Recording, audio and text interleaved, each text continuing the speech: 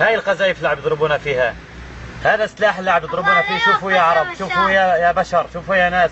هذا السلاح اللي عم يضربونا فيه. قتلوا كل شيء قتلوا البشر قتلوا الشجر قتلوا الحيوانات. الحمد لله إنه نزلت القذيفة على مكان ما في ناس وما في سكان. بس يا أخي ليك في أولاد. في عندنا أولاد. ضربوها بين البيوت امبارح طول الليل قصف.